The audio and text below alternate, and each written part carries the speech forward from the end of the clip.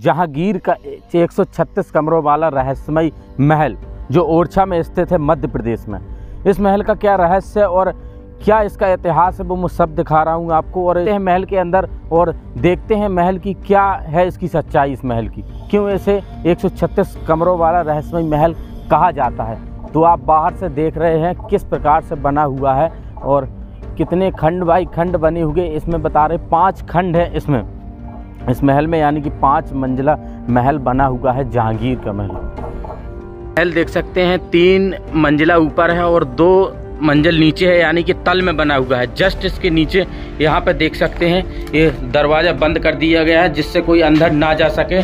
और देख सकते हैं, अंदर जाने की इजाज़त नहीं है, और अंदर अंधेरा ही अंधेरा है। इसके नीचे दो तल बने हुए हैं, जहाँ पर रहस्यमय सुरंगें हैं और कई रहस्य छिपे हुए हैं, कई तो आप यहाँ पर आएँगे तो यहाँ पर आप देख सकते हैं सीढ़ियाँ हैं चढ़ने के लिए यहाँ से। और जस्ट जब जहांगीर आया करते थे तो जो घोड़े थे, घोड़े यहाँ पर, घोड़े वाले यहाँ पर उतरते थे, ऊँट वाले यहाँ पर, और जो हाथी थे, हाथी के लिए वो बनाया था। ख़ास तौर से इसे बनाया था जिसमें हाथी आए तो हाथी से सीधा उतरा जा सके। राजा महाराजा यहाँ से उतर सकें। तो ये सीढ़ियाँ हैं, कुछ लोग सीढ़ियाँ से जाया करते थे। राजा महाराजा तो हाथी घोड़ों से आया करते थे तो सीधा ही इस पर उतर जाया करते थे। तो यहाँ पर आते हैं जैसे ही तो हमें देखने को बहुत भव्य नज़ारा मिलता है यहाँ पर देखिए। दरअसल कितना अच्छा लगता है यहाँ बाहर का इन महरामों को भी दरअसल आप देखिए, कितना बेहतरीन इसे बनाया गया। अगल बगल कल दो हाथी हैं ये हाथी स्वागत के लिए बनाए गए हैं, एक हाथी देखिए घंटी लिए हुए हैं और एक फूल माला लिए हुए हैं हाथी। और ऊपर की ओर आप देखेंगे छज्जों पर यहाँ पर दो एक लेडीज़ खड़ी हो जाया करती थी। जैसे ही जहांगीर यानी महाराजा लोग आते थे तो उन पर पुष्प अर्पण किया करते थे। देख सकते हैं। तो हर चीज़ का अपना अपना मतलब है और उसी समय की नटकाशी देख सकते हैं। ये 22 सालों में तैयार हुआ था बनकर। इसे 22 साल लगे इस महल को बनने में। तो इनकी कलाकारी को दरअसल आप देख सकते हैं। जैसे ही अंदर आएँगे तो इन दरवाज़ों को भी एक बार गौर से देखिए, उस समय किस प्रकार के दरवाजे बनाया करते थे। लकड़ी के दरवाजे आज भी यानी कि 500 बरस हो चुके हैं इसे, टोटली। 500 बरस से किस प्रकार से आज हमें देखने को मिलते हैं यहाँ पर चित्रकारी है, क्योंकि इसे खास तौर पर एक मुग़ल शैली थी उस समय और और हिंदू शैली। दोनों शैलियों को मिलाकर इस महल का निर्माण करवाया गया था। यहाँ पर देख सकते हैं कक्ष बना हुआ है, जो कक्ष है, मगर एक सिंपल कक्ष बनाया था। जाने के लिए रास्ता यहाँ से है और यहाँ से दाएँ और बाएँ दोनों तरफ़ से। तो हम इस तरफ़ से जाएँगे, देख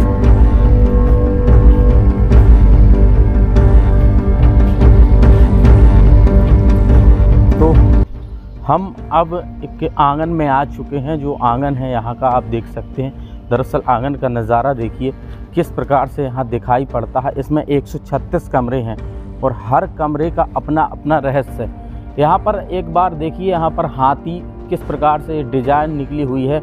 हाथी कैसे बनाए गए हैं ख़ास तौर से सुंदरता दिखने के लिए कि सुंदर लगे। इसके ऊपर एक फ्लोर और बना हुआ है, उसका भी कुछ अलग नज़ारा मिलता है हमें देखने को। देख सकते हैं यहाँ की कलाकारी में। अब ऐसा बताया गया है, जो कक्ष बने हैं, हर कक्ष का अलग अलग मतलब था। किसी कक्ष में धनकोष का धनकोष रखा जाता तो किसी कक्ष में व्यायाम किया जाता था तो किसी कक्ष में रसोई घर था। किसी कक्ष में सारी सुख सुविधाएँ थी अलग अलग कक्ष में। आप देख सकते हैं यहाँ। यहाँ आइए, मैं उस एक कक्ष आपको दिखाता हूँ, किस प्रकार के कक्ष की बनावट है और कैसे लगते हैं कक्ष।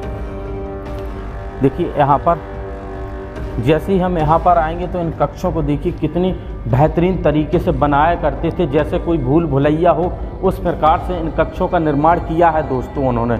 देखिए, अब 22 साल लगे इस महल को तो कुछ तो इसका इतिहास होगा। देखिए यहाँ पर कितनी ठंडक महसूस होती है और देख सकते हैं एक बाल, जैसे कोई बालकनी होती है, उस प्रकार से इसे बनाया गया है। देखिए, यहाँ पर और जालियाँ लगाई गई जिससे हवा आ सके, अंदर की ओर देख सकते हैं। इससे बाहर का भी नज़ारा हमें यहाँ पर देखने को मिलता है।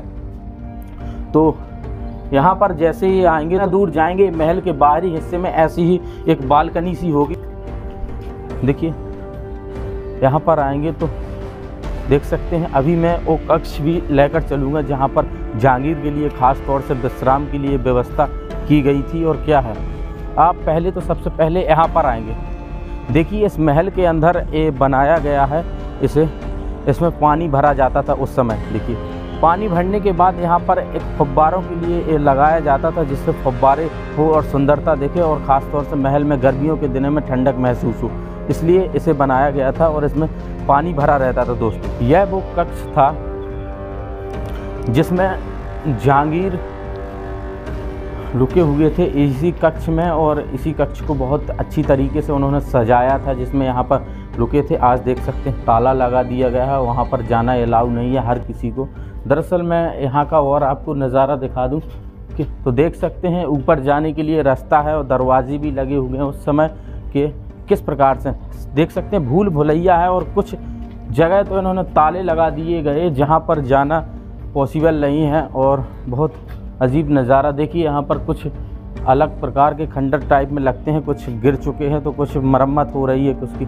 तो हम इस रास्ते से ऊपर जाएँगे, ऊपर के कक्ष भी आपको दिखाएँगे, फिर आपको पूरा का पूरा इतिहास बता रहे आखिरकार जहांगीर के लिए वीर सिंह बुंदेला ने ये क्यों बनवाया था ये महल? क्या इसका इतिहास रहा? तो चलते हैं, यहाँ पर आते हैं तो ऊपरी भाग में जैसे ही हम आते हैं तो ऊपर भी हमें भूल भुलैया जैसा एक नज़ारा देखने को मिलता है, ख़ास तौर पर। देखिए यहाँ पर। कक्ष बना है, पहले देख सकते हैं, एक कक्ष बना हुआ है। कक्ष के यहाँ जस्ट आँगन है। हर कक्ष में कुछ इसी कक्ष में रहा करते थे, सारी सुख सुविधाएँ भी थी। तो यहाँ से देखिए, दरअसल यहाँ भी आप देख सकते हैं कैसे कैसी कक्ष हैं और कैसी कैसी भूल भुलैया है इसकी। देखिए यहाँ पर।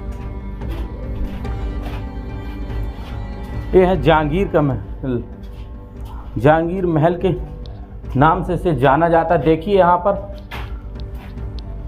देखिए किस प्रकार के छोटे छोटे कक्ष हैं और यहाँ पर किस प्रकार की गोला आकृति है। देखिए यहाँ पर। यहाँ से किले का एक कोना है और कोने पे है। कोने पे कुछ इस प्रकार की डिज़ाइन बनाई जाती थी सुंदर दिखने के लिए और उनकी सेना भी रहे। और तो देखिए इससे ओरछा के किले में अनेक महल भी बने हुए हैं। यहाँ से आप देख सकते हैं, महल भी हमारे दिखाई पड़ते हैं और किला सबसे ऊपरी भाग पर बना है, जो जहांगीर का किला है, जिसे एक दिन का किला भी इसे कहा जाता है ख़ास तौर पर। क्या क्या है इस किले की खासियत?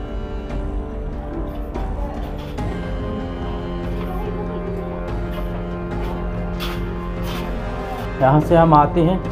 देखिए, कैसा नज़ारा लगता है यहाँ देखने में। अरे यार, नदियाँ दिखाने थी। हैं? दिखा दी नहीं। तो देख सकते हैं यहाँ से हमें बिल्कुल सीधा, जैसे भूल भुलैया है, उसी प्रकार से सीधा रास्ता बना हुआ है और इसके इस तरफ़ कक्ष बने हुए हैं, सीधा जाने के लिए। और इससे पहले यहाँ आते हैं। थोड़ी यहाँ का नज़ारा और देखते हैं हम क्या क्या है। इसकी खासियत। सकते हैं, ये रास्ता नीचे की ओर जाता है, जो महल के सबसे नीचे की ओर जाता है, जहाँ एक सुरंग है, बता रहे वहाँ पे एक सुरंग बनी हुई है, और उस सुरंग के रास्ते जाता है, फ़िलहाल में नीचे तक जाएगा बंद हो जाती है। देख सकते हैं, ये छोटी सी रास्ता है, जहाँ से कोई नहीं, पूरा मलमा वगैरह डला हुआ है, यहाँ से कोई नहीं जाता। एक रहस्य छिपे हुए हैं इसके अंदर। अनेक रहस्य हैं और इसके अंदर कई ऐसे रास्ते भी हैं जो नदी बेतुआ के यहाँ निकलते हैं। वो रास्ते अब बंद कर दिए गए, वहाँ पर कोई नहीं जाते। उस रास्तों में कुछ धन वगैरह भी रखा हुआ, क्योंकि इनका राजकोष होता था तो वो छिपा के इन सुरंगों के ज़रिए ही रखा करते थे। देख सकते हैं, जहांगीर महल पर आठ गुम्मद बने हुए हैं और हर गुम्मदों का एक अलग अद्भुत रहस्य और आठों में देख सकते हैं अलग अलग कलाकारी की गई है। चार गुम्मद में बिल्कुल सेम एक सी कलाकारी की गई और चार में अलग। उसके बाद छोटे गुम्मद भी हैं। छोटे गुम्मद भी और बेहतरीन लगते हैं देखने में। छोटे गुम्मद काफ़ी सारे बने हुए हैं। आप देख ही सकते हैं यहाँ से और यहाँ जब आते हैं, उसी समय के जो पत्थरों में देखिए, जंगले किस प्रकार से बनाया करते और आज किस प्रकार से इसकी डिज़ाइन है, देख सकते हैं। तो देख सकते हैं, यहाँ पर बेतवा नदी निकली हुई है और बेतवा नदी को जस्ट बगल में बना हुआ है ये जहांगीर का महल। जो जहांगीर का महल इतना बेहतरीन यानी सुंदर लगता है कि देखने में बहुत अद्भुत। यहाँ का नज़ारा भी आप दरअसल देख सकते हैं। उस समय की नटकाशी और कलाकारी पर भी एक बार गौर करिए, देख सकते हैं इन जंगलों में किस प्रकार के पत्थरों के जंगले बना दिया करते थे। उस समय और आज भी किस प्रकार लगे हुए हैं, देख सकते हैं। कितने सुंदर लगते हैं ये देखने में, कितना बेहतरीन इसका नज़ारा है। तो देखिए, क्रम से एक एक गुम्मत के नीचे इतिहास के बारे में बात करते हैं कि आखिरकार क्या इतिहास रहा इस महल का और जहांगीर और वीर सिंह बुंदेला की मित्रता का। जब मुगल शासक अकबर का दिल्ली में शासन था अकबर के पुत्र सलीम यानी कि जहांगीर गद्दी पे बैठने वाले थे मगर नौ रत्नों में से एक अकबर के नौ रत्न थे उसमें से एक अबू फजल थे। अबू फजल ने यानी कि बादशाह जो अकबर थे उन्हें एक सलाह दी कि आप सलीम को गद्दी पे मत बैठाना ये अभी योग्य नहीं है। यह बात सलीम को पता चली कि ये बीच में अड़चन डाल रहे हैं। मैं मतलब शासन करने वाला हूँ। और तो उन्होंने क्या किया कि जब अबू फजल यहाँ से गुज़र रहे थे आगरा से तो वीर सिंह जो बुंदेला थे, इनको कहते हैं सलीम, यानी कि जो जहांगीर कहते हैं कि आप जाइए, अबू फजल को मार दीजिए। तो क्या करते हैं, यहाँ से वीर सिंह बुंदेला जाते हैं और दतिया के पास मार देते हैं। दतिया और ग्वालियर के पास उसे मार देते हैं। मारने के बाद जो उसका सर काट कर अबू फजल का सर काट कर इलाहाबाद भेज देते हैं, क्योंकि इलाहाबाद में थे सलीम, यानी जहांगीर इलाहाबाद में थे। इससे बड़े खुश होकर जहांगीर प्रिय मित्र मानते हैं, और जब इस पर सत्ता पर बैठने के बाद उनके लिए फिर एक बार वीर सिंह बुंदेला उनके लिए स्पेशली महल बनवाते हैं, और महल, जहांगीर महल के नाम से जाना जाता है। इस महल में सिर्फ़ जहांगीर एक दिन के लिए आए थे। एक दिन के लिए यहाँ पर रुके थे, एक दिन के लिए आप खुद सोचिए कि, लाखों की इनकम लगाकर यानी लाखों की लागत लगाकर इस महल को कैसे तैयार किया होगा और आज किस प्रकार से हमें ये देखने को मिलता है। हर कक्ष का अपना अपना रहस्य है और अपने अपने मतलब हैं। फिर इसके बाद जब वो चले गए एक दिन आने के बाद फिर इसमें राजा लोग भी फिर रहने लगे जो भी शासक आए उनके बाद आप देख सकते हैं। तो ये महल का इतिहास रहा जो जहांगीर महल था इस प्रकार से और उनकी मित्रता के गुण आज भी गाए जाते हैं। इस महल को दो उसमें बनाया गया, यानी कि मुग़ल शैली और और हिंदू शैली में दोनों में इसको बनाया गया था महल को।